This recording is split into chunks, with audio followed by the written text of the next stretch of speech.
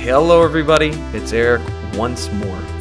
We're going to be working on the neck of our cherry fiddle today, and I have already drawn out the side profile of this neck, and I'm going to be drilling out the peg holes first while the block is still square and there's no other deviations to it. I'm really excited for this neck. The wood is slightly different than the wood on the back. It's still cherry, but it's from a different uh, batch. We got it from a sawmill a long time ago, cherry on the back of the violin my dad got from some guy on Craigslist. So slightly different, still mostly the same shade though. It's a little lighter though. And I'll take it over to the bandsaw and do a little bit of cutting.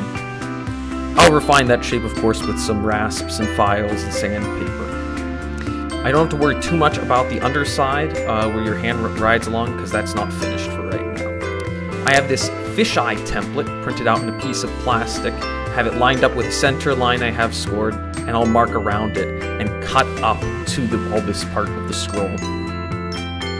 Now to get rid of the rest of that material, I'll have to make some tangential cuts, and it makes this star pattern, and I end those cuts just at where that fisheye template, or fishtail template, left those marks. And where those marks end, I will stop cutting, I'll chisel it out, and I'll make a new mark going up and then I'll make my tangent cuts in the exact same manner as before, on both sides, of course. And some more chiseling later, we've got a pretty flat looking scroll. Now to give it the depth that a normal scroll has, we're going to do some undercutting. And it's just a matter of me taking my gouge and scooping out a little bit of material. It's fairly subtle, but hopefully you can see here, it makes a big difference in the final appearance and I think it looks very nice. To note, this scroll isn't perfectly symmetric, but hey, for my first time, I think it's pretty damn close. And the only other changes I'll make after that is this fluting. I'll leave the center line untouched, and to either side I'll use my quarter inch gouge to take out material, being careful and cognizant of the grain direction, making sure I'm always moving downhill to not chip anything out. At this point, I'm going to drill out the peg box. This is where the strings will go. Now, I'm using a normal, like, high-speed drill bit as opposed to a brad point so that there's not uh, extra depth at the bottom of the brad point. However, this caused the drill bit to wander, and I couldn't really finish up entirely with that, especially on the sloped surface of the scroll. I'm not quite sure how most people normally do it, so I stopped once I was having too many problems, and I just over to my quarter inch gouge and start very slowly taking out material.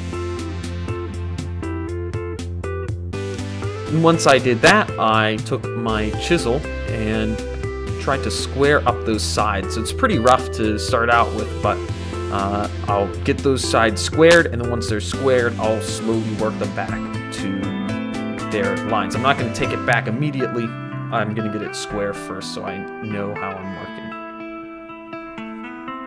You can see some of the burning on the side from where those drill bits were, and I was a little bit too far to the left. It's not visible on the final uh, piece, but as I'm working, it certainly is noticeable. And with that done, we can start working on the fingerboard. So this is a piece of ebony I got from StewMac. You can see it's pretty chunky at this stage, and so I'm going to have to take it down on every single face pretty much, except the ends. So the first thing I'm going to do is bring down the width. And I'll do that by holding it square against the sanding board here, and I will draw it towards me. It creates a lot of dust, so I'm constantly vacuuming that up to keep my sandpaper nice and unclogged. And I'll be measuring and making sure that I'm square as I'm going. I don't want to bring that out of square, I just want to shrink it down because it's about a millimeter or so out of line when I start off. So again, nice, careful strokes drawn towards me. more and more vacuuming. A lot of dust created with this.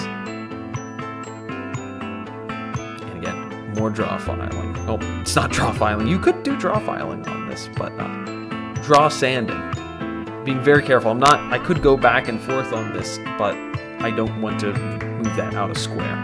And I'll check the angles to make sure they're all right. I didn't want to mess with the angles. It was the right ratio between the end and the front, but it was uh, not the, it was too wide.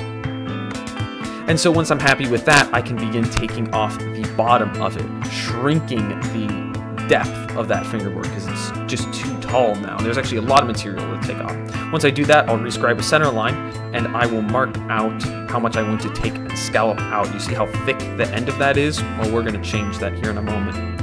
So hopefully you can see my marks there, and I'm just going to start by gouging some of this out. I started out with this half inch gouge, didn't work too well, but I'll switch over to my finger planes here in a moment, and I think you'll see how much progress I was able to make with that. Yeah, this is what we like. A lot of material was removed with this, and it really lightens up the fingerboard, and that's what gives this a much more professional feel and look. And once I do that, I did use some scrapers as well, but I'll check the radius of this fingerboard and make sure it's correct. There's a lot of debate on how you can go about making this radius, whether or not it's constant, so kind of like a cross-section of a cylinder, or it's changing, kind of like the cross-section of a cone. And then also what, how it's curved. There's actually kind of an underbow to that. Or, I'm sorry, not, it's an underbow or an overbow? It's con... Yeah, you know what, I'm not even to attempt to say it because I'll mess myself up. but hopefully you can see it's a lot thinner now. And it looks absolutely gorgeous. I was very happy with how this came out.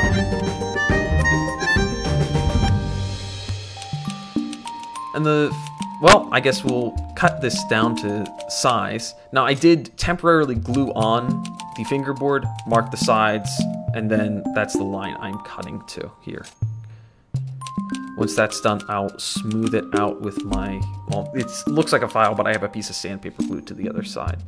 That's the first very basic curve cut. Now I have to cut the start of that dovetail joint. So it's this trapezoidal shape, but it also pushes uh, outwards slightly so that it will dovetail into the slot. So I'm being very careful and cognizant of that as I am cutting this down with a saw. Not the best saw, I need to get a better joiner's saw, but that's what I have. There's a little flat part at the top, that's to be a part of the design, small overhang. And I have a little template here that I'm using to mark out the true final shape of the neck.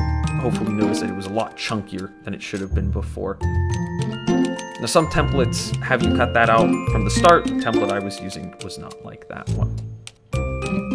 And there it is, all cut out. Now we're going to have to actually shape that neck and round it over. I'll start off with a knife, and after the knife, I'll switch over to files and rasps, rasps and some sandpaper. But, of course, whittling this away is going to be a lot quicker. And that curve at the button usually is perfectly uh, kind of like a half circle, but what I did is a little bit more of an arch than a circle. That was by design. But hopefully you can see it's fairly smooth in this state. I'm not going to finish it perfectly. Also, while I was doing that, I ended up nicking out a bit of the scroll.